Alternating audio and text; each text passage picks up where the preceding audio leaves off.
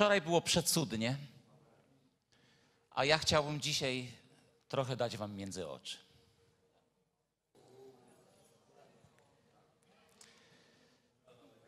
To znaczy, chciałbym, żebyśmy przynajmniej w jakiejś mierze powiedzieli kilka słów prawdy.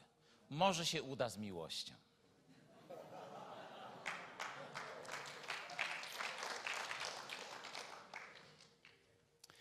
Bo też chciałbym parę rzeczy szczerze powiedzieć, patrząc na naszą sytuację w Polsce, patrząc na sytuację Kościoła.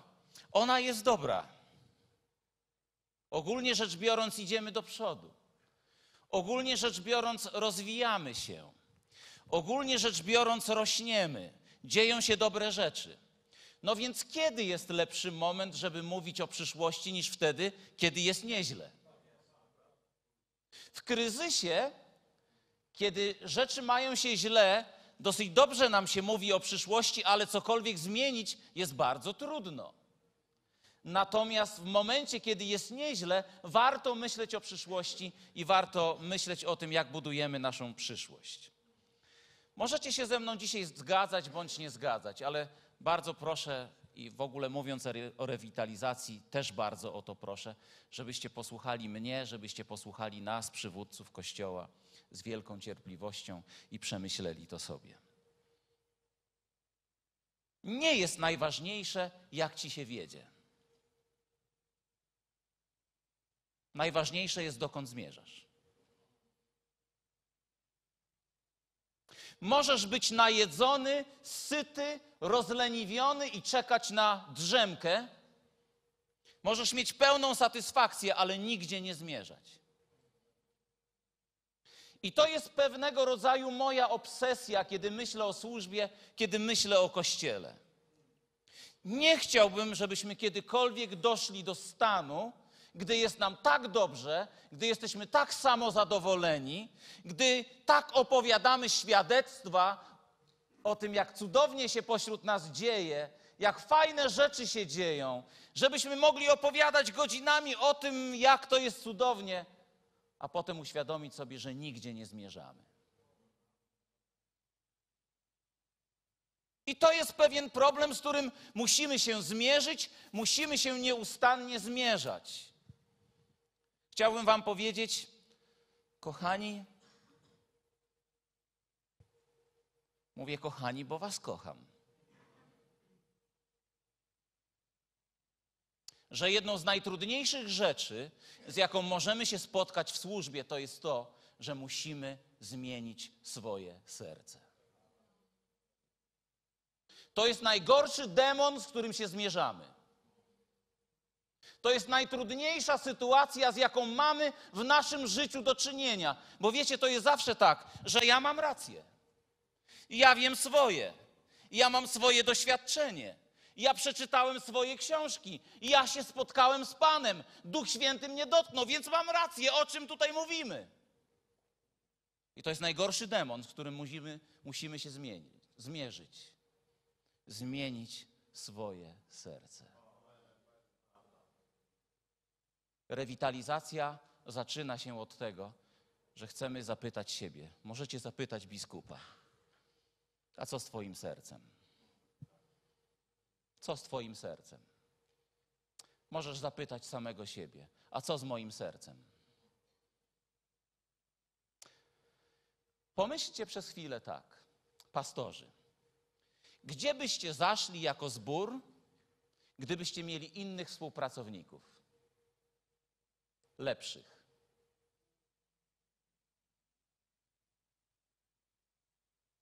Bardziej gotowych na współpracę. Gdybyście mieli, na współ, mieli współpracowników bardziej napełnionych Duchem Świętym, rozpalonych ogniem, dalej byście zaszli, tak? Mam do Was inne pytanie.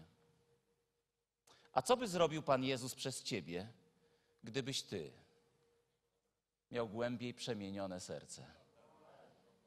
Był bardziej przepełniony Duchem Świętym. Był bardziej posłuszny Panu. W pokorze szukał Boga i byś ciągle mówił: Boże, niech się dzieje cała Twoja wola.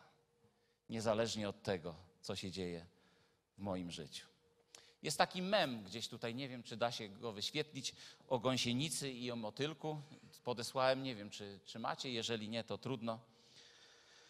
E, Na początku lat 90., i to jest subiektywne spojrzenie na rzeczywistość, na początku lat 90., koniec lat 80., e, kilka razy rozmawiałem z ludźmi wywodzącymi się ze wspólnot e, odnowy rzymskokatolickiej. Powiedzieli mi pewną rzecz, która dla mnie była zimnym prysznicem. Ja, zielonoświątkowiec z krwi i kości, zawsze otwarty na Ducha Świętego. I powiedzieli tak. Kiedy zaczęły się dziać cudowne rzeczy w Kościele rzymskokatolickim w grupach odnowy, naturalną rzeczą było to, by zwrócić się do zielonoświątkowców, bo oni, bo oni byli umocnieni w Duchu Świętym. I kiedy przychodzili na nasze społeczności, zobaczyli ludzi zamkniętych na Ducha Świętego, kompletnie Duchowi Świętemu niepoddanych, kontrolujących swoje nabożeństwa, w których nie przejawiały się ani proroctwa, ani śpiew językami, ani modlitwa o chorych, ani egzorcyzmy, ani różne inne rzeczy, których oni czekali i powiedzieli tak: A, to oni są tylko z nazwy.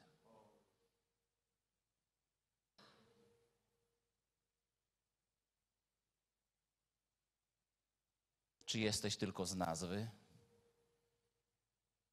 czy całym sobą? Od tego zaczyna się rewitalizacja.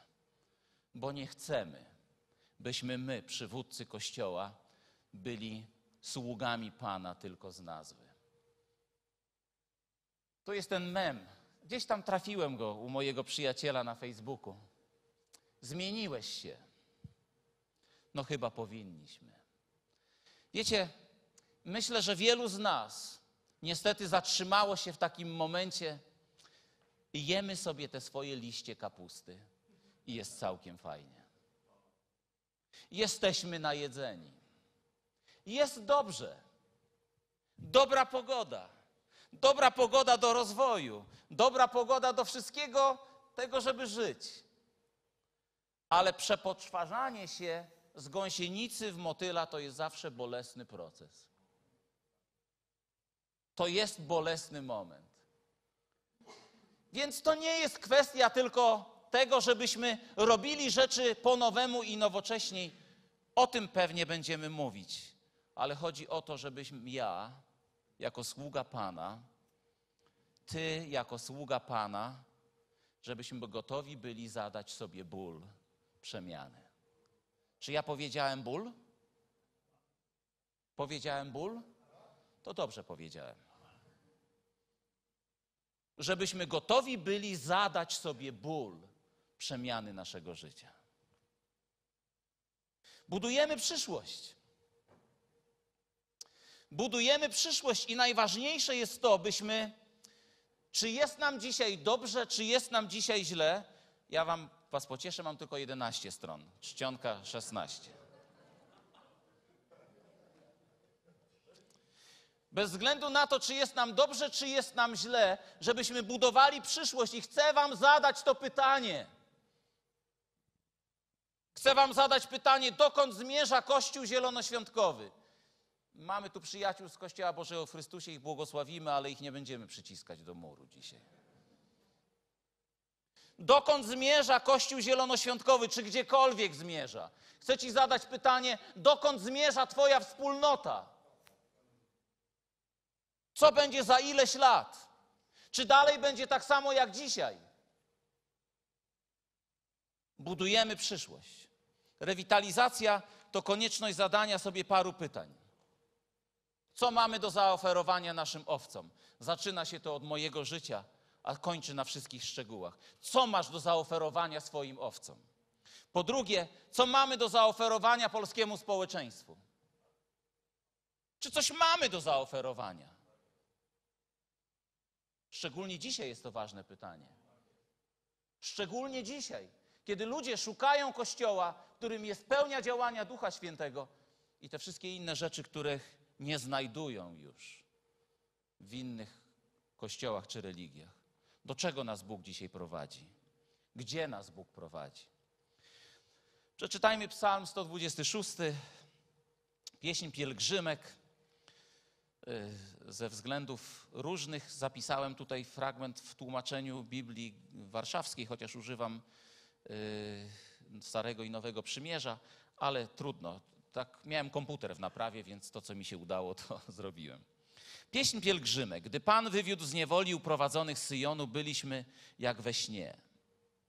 Wtedy usta nasze były pełne śmiechu, a język nasz radości. Wtedy mówiono wśród narodów, Pan dokonał z nimi wielkich rzeczy. Wielkich rzeczy dokonał Pan z nami, przeto byliśmy weseli. Odmień, Panie, losy nasze jak strumienie w ziemi południowej. Ci, którzy siali ze łzami, niech zbierają z radością. Kto wychodzi z płaczem, niosąc ziarno siewne, będzie wracał z radością, niosąc snopy swoje. Od czego zaczynamy wędrówkę za Panem? Kiedy Pan dotyka naszego życia, kiedy Pan dotyka naszych serc, kiedy spotykamy się z Bogiem, jesteśmy jak we śnie. Wtedy wiele rzeczy się nie liczy. Po prostu jest Pan. Jesteśmy oczarowani. Chcę Wam powiedzieć jedno: tak długo, jak długo Bóg ma dostęp do naszego życia, jesteśmy jak we śnie. Nasze serca są pełne radości. Chcemy tańczyć, chce nam się żyć, chce nam się działać. Ale jakże często bywa, że potem gdzieś tracimy tę pierwszą miłość, tę pierwszą gorliwość, to pierwsze oddanie. Chcę Wam powiedzieć, że służę Jezusowi. Nawróciłem się 40 lat temu. Miałem dwa lata. No nie, trochę więcej. 40 lat temu.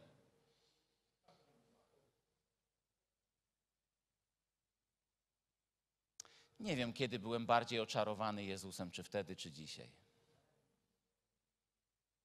I może jestem w takim wieku, że hemoroidy już nie pozwalają tak tańczyć jak kiedyś.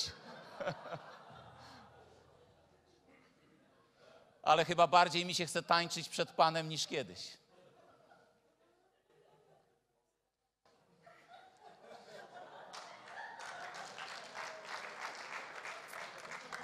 A, a co ja takiego powiedziałem? To była taka, ten, no, dobra.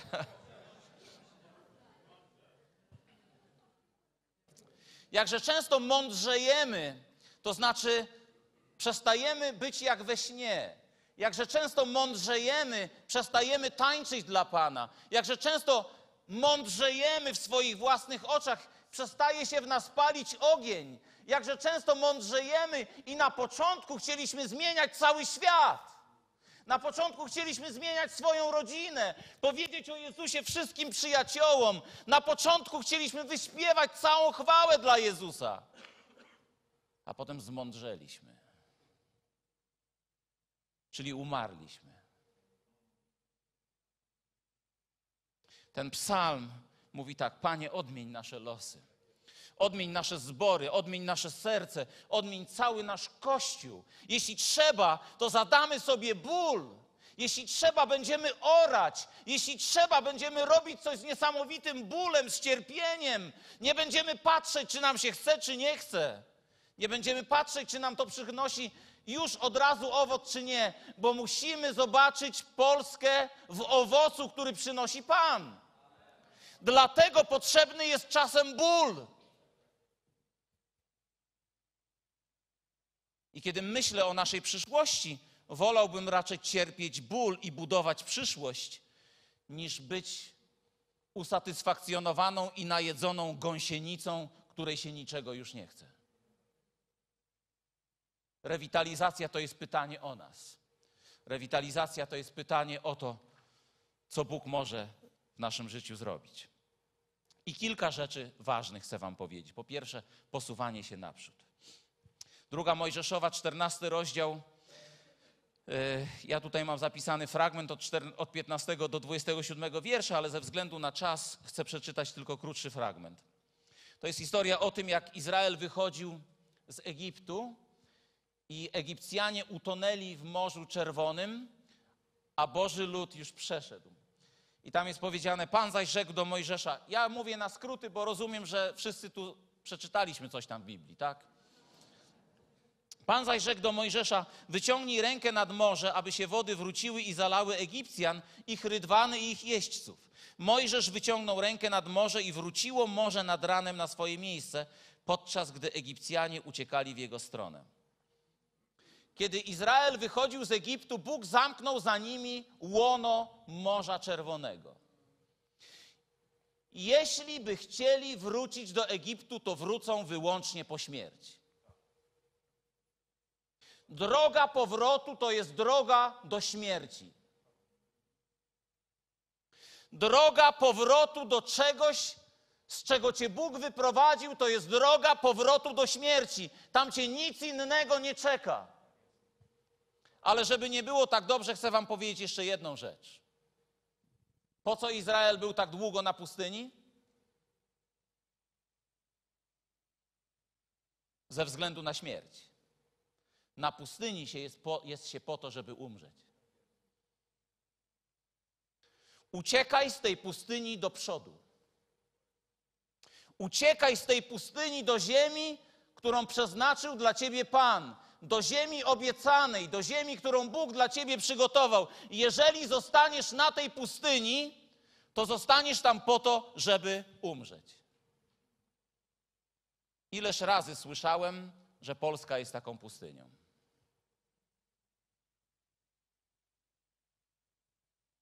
Ileż razy słyszałem, że moja służba i moje życie jest życiem na pustyni. Uciekaj stamtąd, bo tam cię czeka tylko śmierć. Wiecie, co ciekawe jest to, że na pustyni się działy cuda, wiecie o tym? Na pustyni był obłok albo słup ognia. Na pustyni wylewała się przed nimi woda. Na pustyni była manna i Bóg ich karmił. Na pustyni Bóg dokonywał cudów. Kiedy grzeszyli, spojrzeli na miedzianego węża i Bóg ich uzdrawiał. Wiecie, że tam było do opowiadania mnóstwo świadectw? Było? Było. Po co się jest na pustyni? Żeby umrzeć. Jeśli chcesz się zatrzymać, jeśli chcesz tam być, zatrzymasz się na śmierć. Zatrzymasz się po to, żeby wymarło wszystko w Twoim życiu. Zatrzymasz się po to, żeby stracić wszystko to, co Ci Bóg podarował. Posuwaj się do przodu. Niech będzie to Twoją i moją obsesją, żeby zadawać sobie pytanie, do czego zmierzam i czy przypadkiem nie jestem tutaj na tej pustyni, czy przypadkiem nie jestem tutaj w tym miejscu, bo jeśli nie będę się posuwał do przodu, jeśli nie będę zmieniał mojego życia, jeśli nie będę zmieniał mojego kościoła, to tylko czeka śmierć. Bez względu na to, ile cudów widzisz i bez względu na to, jak bardzo jesteś najedzony i zadowolony. Idź do przodu. Twój stan, Twoje dobre samopoczucie, Twoje samozadowolenie, Twoja satysfakcja, nawet Twoja radość nie mają tutaj nic do rzeczy. Nie mają nic do rzeczy. Biegnij do ziemi obiecanej. Biegnij do dzieł, do których przeznaczył Cię Bóg. Biegnij do owoców, do których przeznaczył Cię Bóg, bo jeśli się zatrzymasz, będziesz się zatrzymywać po śmierci.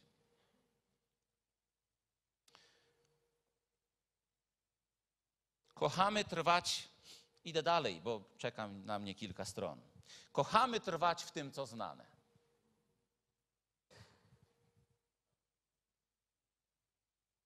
Sławek się posługuje często cytatami z, ze swoich znajomych, ja też swojego znajomego zacytuję. Inżynier Mamoń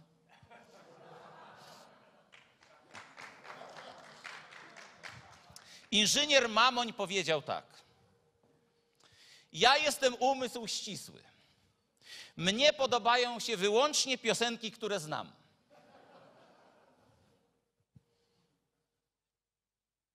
A jak nie znam, to mi się nie podobają. Tak, jak może mi się podobać coś, co słyszę pierwszy raz? To jest kultowy film Rejs. Mam wrażenie, że w kościele bardzo często jesteśmy takim umysłem ścisłym. Mam wrażenie, że jesteśmy wszyscy inżynierami. Podoba nam się to, co znamy. A Bóg nas prowadzi, nie chcę powiedzieć tutaj teraz o nowoczesności, o rzeczach zewnętrznych, ale chcę mówić o rzeczach głęboko wewnętrznych i duchowych. Kiedy odkrywasz ziemię obiecaną, nic nie wiesz, co tam jest. I za każdym krokiem czeka cię zdziwienie? Nie. Lęki. Bo nie wiesz, co cię czeka. Nie wiesz, do czego cię Pan Bóg prowadzi. Dlatego Izrael mówił tak: no to my wracamy do Egiptu. A przecież oni tam dzieci tracili. Byli niewolnikami. Ale te niewolę znali. Te niewolę znali, oni się przyzwyczaili do tej niewoli. Dało się jakoś żyć, tak jak nam się jakoś dało żyć w komunie. W komunie były pewne dobre rzeczy. Jakby nie było, dało się przeżyć. Nie było takich napięć jak teraz. Droga służby za Panem, prowadzenie przez Ducha Świętego to zawsze wielka niewiadomość, niewiadoma i wielka niepewność. Z tego wynika konieczność nieustannego pytania Boga o Jego wolę. Boże, co jest następnym krokiem w moim kościele? Co jest następnym krokiem w mojej służbie? Boże, pokaż mi. Nie wiem, nie mam pojęcia. Ciągle pytamy Boga o to, co mam dalej zrobić. Panie, ratuj. Dlatego Mojżesz kiedyś powiedział: Jeśli nie pójdziesz ze mną do ziemi obiecanej, ja nigdzie nie idę. Strachem napawa nas nieznane. Ja powiem Wam szczerze, nienawidzę nowych projektów. Nienawidzę. I jak tak, wiecie, to są tygodnie albo miesiące pracy, różnego rodzaju pracy, chociaż i tak większość zwaliliśmy teraz na Arka tutaj i na Filadelfię, a potem w Bydgoszczy zwalimy na innych. Ale wiecie, ja Wam powiem tak, nieraz patrzę na służbę, na to, co robimy i tak, Boże, a po co mi to wszystko? Przecież mógłbym siedzieć za biurkiem i mówić, tak, siostry, bracia, módlmy się, niech Pan Bóg nas błogosławi. Niech nas Pan Bóg błogosławi. Po co ja się głupi ładuję w te różne rzeczy, które mają służyć rozwojowi Kościoła? Przyjadą czy nie przyjadą? Dobrze zrozumieją czy niedobrze zrozumieją? Czy ludzie będą chcieli razem ze mną, razem z nami pójść do tej ziemi obiecanej, czy nie? Czy mnie zjadą na Facebooku, czy nie? Ja mówię teraz o rzeczach bardzo powierzchownych, są dużo głębsze. Boże, po co mi to wszystko? Ale mamy przyszłość. Mamy życie. Mamy ogród, który będzie rozkwitał dla nas. Strachem napawa nas to, co nieznane. Kolejna rzecz. Lubimy powtarzać swoje zachowania. Bo zdolność do powtarzania pewnych czynności daje nam poczucie bezpieczeństwa. Mogę to zrobić, umiem to zrobić, więc jestem ok. O co ci chodzi? Lubimy powtarzać swoje zachowania. Wiecie, ciągle do mnie przemawia jedna rzecz z, tą, z tym wydobywaniem wody na pustyni. Jak się wydobywa wodę na pustyni, kiedy Izrael zmierzał z Egiptu do ziemi obiecanej? Najpierw, pewnie tam jest i więcej, ale na, chciałbym powiedzieć Wam przynajmniej o trzech rzeczach. Najpierw Bóg kazał Mojżeszowi uderzyć w skałę, uderzył. Potem Bóg powiedział mu: Dobrze, Mojżeszu, dzisiaj już nie będziesz uderzał w skałę, przemówisz do tej skały, tak? Ale Mojżesz wolał powtarzać swoje zachowania, bo wtedy zadziałało. Wtedy zadziałało. Odkryłem niedawno, że jest trzeci sposób. Była studnia, w której nie było wody, i Bóg powiedział im tak: to zaśpiewajcie pieśń. Wyjdzie woda. I wtedy oni zaśpiewali pieśń: Wzbierz studnio. Zaczęli śpiewać przy tej studni i zaczęła się wylewać woda. Jak się wylewa, wy, wydobywa wodę na pustyni, żeby napoić Boży lud? Nie wiem, Pan ci powie. Stare sposoby nie zadziałały. Tak jak nie działają już dzisiaj misje namiotowe, był czas, że to fantastycznie działało, dzisiaj już nie działa. Ale Pan wie. Pan wie. A my lubimy powtarzać stare zachowania. Lubimy robić rzeczy tak samo. Lubimy, lubimy robić coś, co znamy już. Nie ma już wtedy tego napięcia. Powtarzamy swoje zachowania. Ileż mamy w naszym życiu zachowań, które niczego nie zmieniają w naszej rzeczywistości. Czy mogę być złośliwy? Poczytajcie na Facebooku wypowiedzi różnych ludzi, które kompletnie niczego nie zmieniają w rzeczywistości duchowej Kościoła. Do niczego nie prowadzą. Nie przybliżają Bożego ludu do chwały, ale samo zadowolenie jest genialne wśród nas. Czy to był like do mnie? O, dzięki, pokaż, pokaż wysoko. Dostałem jednego lajka. Oj, wow, wow.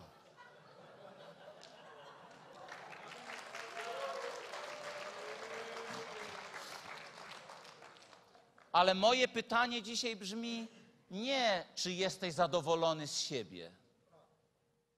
Nie mierzymy owoców Królestwa Bożego samozadowoleniem. Nawet nie mierzymy owoców Bożego Królestwa tym, czy jest krytyka, czy ludziom się to podoba. Nie mierzymy tego w tym. Dlatego Kościół Jezusa Chrystusa musi bardzo mocno powiedzieć, że budujemy naszą przyszłość, że do czegoś zmierzamy, że chcemy przynieść owoc. Musimy mieć obsesję na punkcie tego, że każde nasze działanie do czegoś prowadzi albo do niczego nas nie prowadzi. I gdybym ja mógł, a nie mogę, to powiedziałbym tak: zlikwidujmy 80% rzeczy, które robimy. One nikomu nie są potrzebne. One są potrzebne wyłącznie Tobie, żebyś był samozadowolony.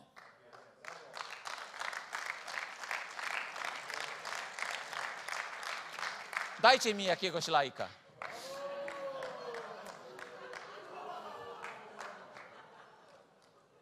Skoncentrujmy się na tych kilku rzeczach, które rzeczywiście przynoszą owoc, które przynoszą rozwój, które przynoszą błogosławieństwo. Istnieje mnóstwo rzeczy, mnóstwo spotkań, mnóstwo narad, które są tylko zmarnowaniem czasu. Po co nam to? Gdyby to ode mnie zależało, zlikwidowałbym biznesowe sesje na synodzie. Ale, przepraszam.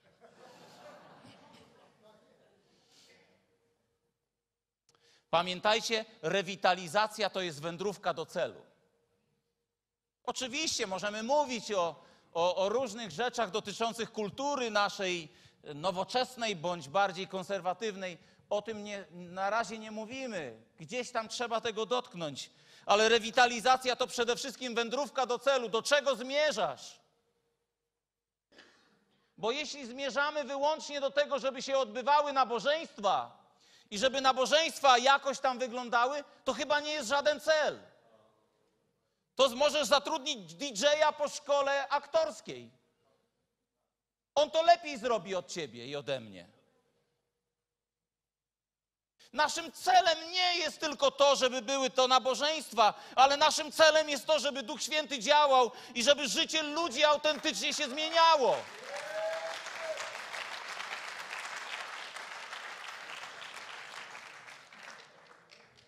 I naszym pytaniem zawsze musi być to, co się zmienia w życiu ludzi, co się zmienia w życiu mojego kościoła. Jak budujemy przyszłość? Wiecie, powiem tak, czasem mam wrażenie, że jesteśmy rzeczywiście jak najedzone owce, którym się już nic nie chce. Mamy wolność w Polsce, prawda? Ten brak wolności, na który możemy narzekać, to być może niektórzy, a nie, nie będę wchodził w politykę. Nie będę wchodził. Głosujcie tylko. Nie pójdę tą drogą. Dziękuję. Pilnujcie mnie, że nie szedł tą drogą. Mamy taką wolność, że tylko nam pozazdrościć. A co by się stało z naszym kościołem, gdyby nam gwałtownie tę wolność zabrano? Gdyby przyszły gwałtowne prześladowania, co by się stało z naszym kościołem, z naszym zborem? Tam widać owoce naszej pracy. Tam widać owoce naszej służby. Rewitalizacja to wędrówka do celu. Musimy się przepotwarzać, przepoczwarzać z gąsienicy w motyla. Bo jeśli nie, to tylko bronisz swojej pozycji i mówisz tak: gąsienica jest lepsza od motyla. Niech tak zostanie. Znowu powiem jedną rzecz. Słyszałem tysiące proroctw dotyczących przebudzenia w Polsce. Że się zacznie na południu, na północy, na wschodzie, na zachodzie, w tym miejscu, tam się rozleje, tam się przeleje. Czy mogę być z Wami szczery? Mam już dosyć tych wszystkich proroctw. Ja się biorę do orania. I czy tam jest jakieś proroctwo z tym, czy nie? Ja się biorę do orania. Trzeba ten polski grunt przeorać. Trzeba przeorać grunt mojego serca. Trzeba przeorać serca naszych ludzi w zborach. Trzeba przeorać wszystko, co to jest do przeorania. I nie wiem, czy są proroctwa odpowiednie na ten temat, czy nie. Czy są duchowe znaki w materialnej rzeczywistości, czy nie. Ja nie wiem. Ja chciałbym, żebyśmy przeorali tę ziemię, a potem, żebyśmy rozrzucili ziarno.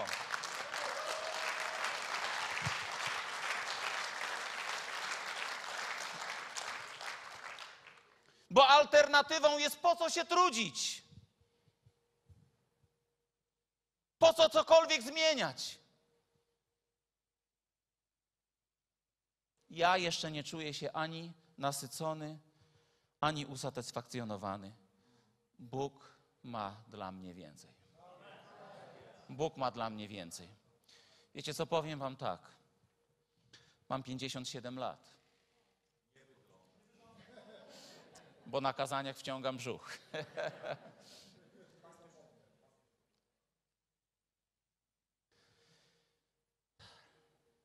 I tak sobie myślę, chciałbym, żebyście mnie dobrze zrozumieli. Przepraszam, nie, przepraszam, jeśli to zabrzmi źle. Ja jestem skromnym człowiekiem i mam, y, mam nadzieję, bardzo wyważone spojrzenie na swoje życie. Ja już wiele w życiu osiągnąłem, albo inaczej, Pan Bóg mnie, chłopaka z PKS-u, którego znalazł w kanale, naprawiającego autobusy, poprowadził i myślę, że mam za co Bogu dziękować. Jestem Bogu wdzięczny, ale powiem Wam, ja nie chcę poprzestać na tym, że wielkie osiągnięcie miałem, bo w życiu zostałem biskupem. Nie chcę na tym, na tym poprzestać. I nie chcę poprzestać na tym, że, wiecie, będę sięgał po jakieś pozycje. Chcę raczej się upewnić, że zrobię coś, co Kościołowi da kopniaka do rozwoju, wtedy, kiedy mnie już nie będzie i kiedy nikt nie będzie wiedział, że Marek Kamiński istniał. I to jest moje marzenie. Cokolwiek by to było, mówiąc technicznie, Chciałbym, żeby cały Kościół śpiewał językami. Chciałbym, żeby cały Kościół nigdy nie mówił, a bądźmy ostrożni z tymi darami Ducha Świętego. Chciałbym, żeby wszyscy byli nawiedzeni na, na, działanie Ducha Świętego, na dary Ducha Świętego. Chciałbym, żebyśmy nie wylewali dziecka z kąpielą, bo tam, gdzie są dary Ducha Świętego, tam są zawsze nadużycia. Wiecie o tym, prawda? I dlatego chciałbym, żebyśmy nie wylewali tego dziecka z kąpielą tylko byśmy chronili to, co jest Bożym dziełem. Chciałbym, żebyśmy byli nawiedzeni, najarani na zakładanie kościołów, bo co mają powiedzieć ludzie? Dajcie mi jakąś nazwę miejscowości, gdzie nie ma kościoła. Bolków, tak? Bol... Szklarska Poręba. Wiecie co? Dla ludzi w Szklarskiej Poręby to jest egal czy mamy powody, że tam nie zakładamy kościoła, czy nie mamy powodów? Oni idą do piekła.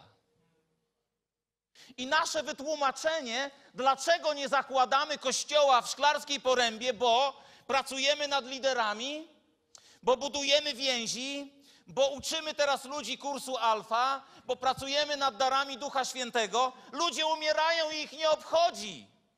To tak jakby ktoś szedł do szpitala i lekarz mu mówi: No wiesz, bo mam ważne szkolenie właśnie dotyczące tego, jak leczyć takie choroby jak pana. Więc pan umrze, ale za kilka lat już będziemy je leczyć.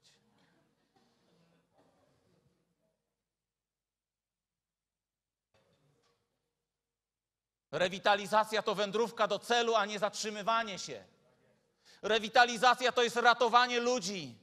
Rewitalizacja to jest wyciskanie z kościoła tyle, ile się da, żebyśmy mogli widzieć działanie Boże w chwale i mogli widzieć nasz naród uratowany. Pójdę dalej, bo mam też ważne jeszcze inne rzeczy. Nieużywane mięśnie wiotczeją, niepodsycany ogień gaśnie. I to jest bardzo biblijne stwierdzenie. Jest taki ulubiony mój cytat z filmu Władca Pierścieni. Chyba nie oglądałem już dwa tygodnie.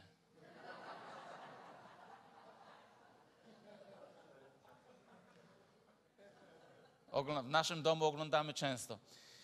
I kiedyś na tym filmie podchodzi do Eowiny, takiej kobiety, która chciała być y, y, rycerzem, chciała iść na wojnę i zadaje jej pytanie, co boisz się? A ona mówi tak, boję się klatki, boję się więzienia, gdzie wraz z upływem czasu zamiera pamięć i potrzeba męstwa. Przypomnijcie sobie, szczególnie mówię to do pastorów, przypomnijcie sobie, drodzy bracia, jacy byliście, gdy zaczynaliście służbę. Drodzy liderzy, przypomnijcie sobie, czyżby wam w tej klatce zamarła pamięć? Czyżbyśmy zapomnieli, że chcieliśmy cały świat do góry nogami przewrócić? Że gotowi byliśmy służyć dniem i nocą? Że gotowi byliśmy modlić się, pościć? Że gotowi byliśmy zrobić cokolwiek, do czego nas Pan prowadzi? Ale potem gdzieś tam w jakiejś klatce naszego życia okazuje się, że pamięć zanikła że nie pamiętamy, dlaczego poszliśmy na tę wojnę. Ciągle martwię się, że w moim życiu może zabraknąć potrzeby męstwa. Albo innymi słowy, kierując to również do sióstr, że zabraknie mi odwagi, by cokolwiek zrobić. Kto z Was się ostatnio bał zrobić coś, a czuliście, że Duch Święty Wam podpowiada i nagle się boimy? Boimy się, co ludzie powiedzą. Boimy się, jak starsi zareagują. Jest tutaj jeden pastor, który uzyskał fantastyczny budynek. Romanie, gdziekolwiek jesteś.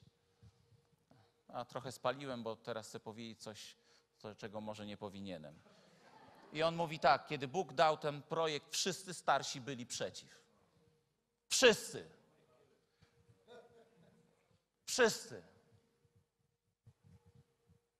I teraz musisz zdecydować albo staniesz przeciwko wszystkim bliskim współpracownikom i zrobisz to, do czego cię Bóg prowadzi, albo wybierzesz święty spokój. Ile razy wybieramy święty spokój? Nieużywane mięśnie wiotczeją. Upływ czasu nie może pozwolić na pragnienie spokoju po Twojej stronie. Upływ czasu nie może pozwolić na unikanie wyzwań. Upływ czasu nie może pozwolić, żebyśmy siedli przy biurku albo w kapciach i siedzieli i prawili morały. Kiedy ostatnio modliłeś się o chrzest Duchem Świętym? Im dłużej się nie modlisz o chrzest Duchem Świętym, tym bardziej się boisz. Wtedy wołasz kogoś z innego zboru, żeby się pomodlił za ciebie, bo ty się boisz. Nieużywane mięśnie wiotczeją. Wiecie, dlaczego boimy się ewangelizować i mówić naszym przyjaciołom o Jezusie? Nie dlatego, że nie wiemy, tylko dawno tego nie robiliśmy. I nie wiemy jak. Nieużywane mięśnie wiotczeją, niepodsycany ogień gaśnie. I nagle się okazuje, że jeżeli przez jakiś czas nie głosiłeś ludziom Ewangelii, to jesteś tak przerażony, że chcesz zawołać ewangelistę, żeby im powiedział. Bo ja niby wiem, ale jak mam to powiedzieć? Bo dawno tego nie robiłeś. Kiedy ostatnio wyganiałeś demony? Kiedy ostatnio śpiewałeś prorocze pieśni? Kiedy ostatnio śpiewałeś w Duchu Świętym? Wiesz, dlaczego nie możesz śpiewać w Duchu Świętym? Bo nie śpiewasz. Nieużywane mięśnie wiotczeją.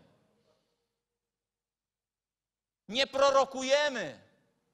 Nie dlatego, że Bóg do nas nie mówi. Nie dlatego, że Bóg nie chce do nas mówić. Nie prorokujemy, bo nie prorokujemy. I kiedy dociera do nas Boże Słowo, boimy się tak strasznie, że nie chcemy wydobyć z siebie słowa. Wiecie, się, czego jeszcze się boimy? Na naszych nabożeństwach Sławek wczoraj chyba o tym mówił.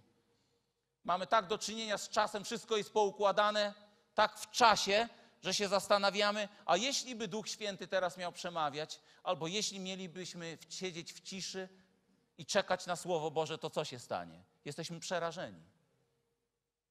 Jesteśmy przerażeni. Nieużywane mięśnie wiotczeją. Jest tyle rzeczy w Królestwie Bożym. Ja tylko dotykam tego tematu. Jeszcze mam 10 minut. Kolejna rzecz. Mówimy do liderów, do pastorów. Jesteś hamulcowym czy lokomotywą?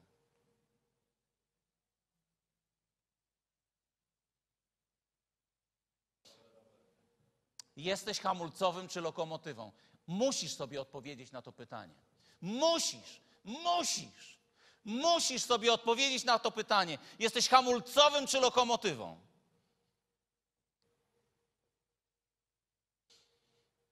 Wiecie, jakże często ja słyszę o tym, ktoś do mnie dzwoni, ktoś mówi, bracie biskupie, musisz zrobić porządek z tą i z tamtą sprawą, a sam se rób.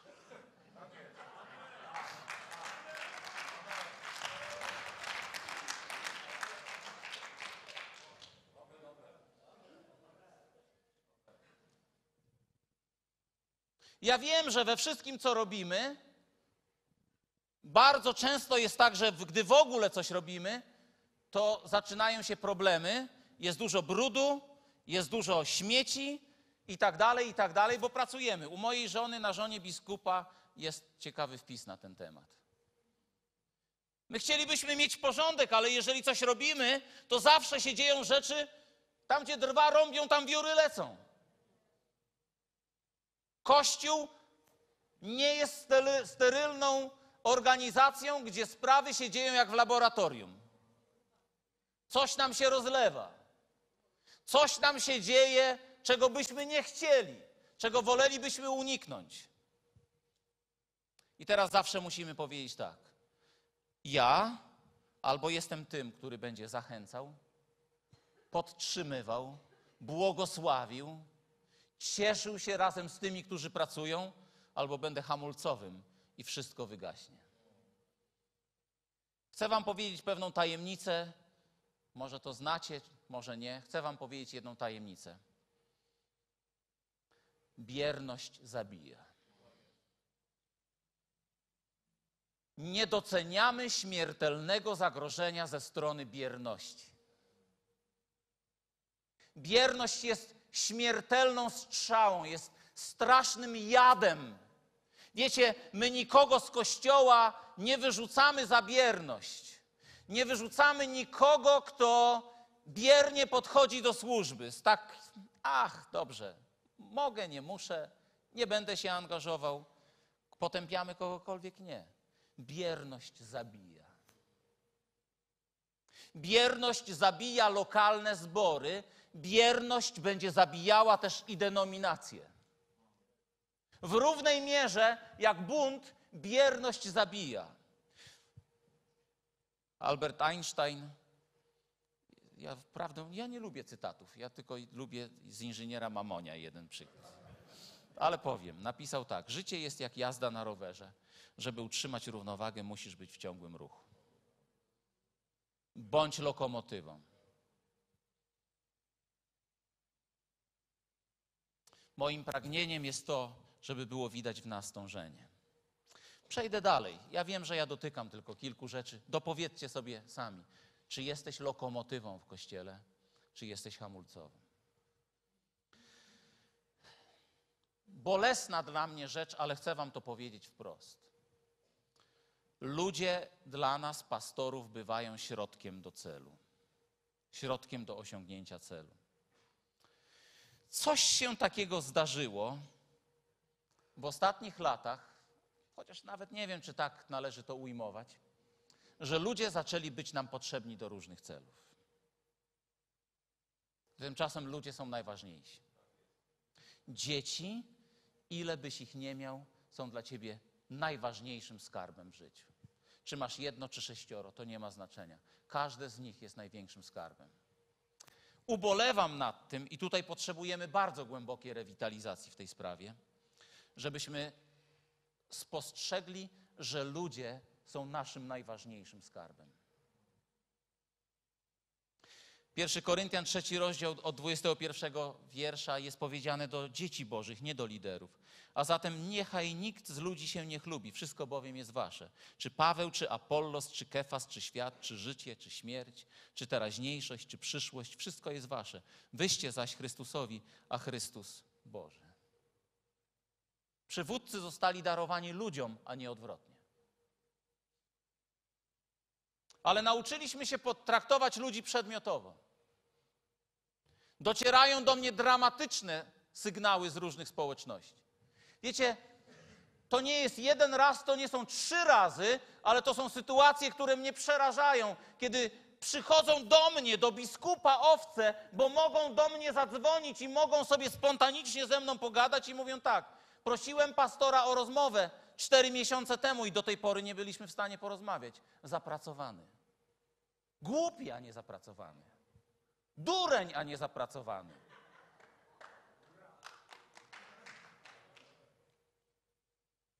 Ludzie nam są potrzebni, bo dają pieniądze. Ludzie są potrzebni na konferencjach. Ludzie są potrzebni, żebyśmy się pochwalili czymś. Ludzie są potrzebni, bo mamy wolontariuszy. Ludzie są potrzebni, bo ich wspieramy, bo wspierają nas. Ludzie są potrzebni, żebyśmy mogli się chlubić, żeby byli takim jakby pokazem naszych ambicji. I budujemy swój pomnik, swoje ambicje naszą pozycję, naszą popularność, nasze wpływy, sukces, chluba. Największym sukcesem sługi Bożego jest to, że kocha swoje dzieci ponad swoje życie. Popatrzcie na mamy i popatrzcie na babcie. O czym rozmawiają, o czym opowiadają? O dzieciach i o wnukach. O czym pastorzy mówią? O czym pastorzy mówią? Chciałbym, żebyśmy się chwalili swoimi dziećmi. Byli dumni z naszych dzieci. Byli dumni z tych ludzi, którzy są. Chciałbym powiedzieć Wam o poddaniu Duchowi Świętemu, tylko wspomnę. Nie ma innego prowadzenia kościoła lokalnego czy w ogóle, tylko przez Ducha Świętego. My może mamy jakieś narzędzia, ale nie jesteśmy artystami. Może mamy narzędzia do mówienia, może mamy narzędzia do innych rzeczy, ale potrzebujemy geniusza, który na tych narzędziach będzie przez nasze życie grał. To jest istota Kościoła, żeby Duch Święty rzeczywiście mógł działać tak, jak chce. I już zakończenie. Niewiele dzisiaj mówię o narzędziach. O tym przyjdzie czas porozmawiać. I wieczorem trochę powiem, jakie mamy plany na przyszłość w sprawie rewitalizacji. Ale chcę powiedzieć jedno: bez zmiany mojego serca, bez zmiany Twojego serca, wszystko jest bezużyteczne. Wszystko. I to dzisiejsze spotkanie jest wołaniem do Boga i do nas, żeby się zmieniły nasze serca.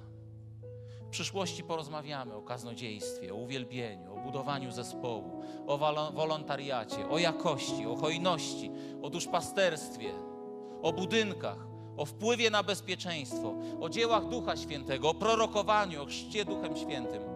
Ale dzisiaj musimy zapytać samych siebie o nasze serca.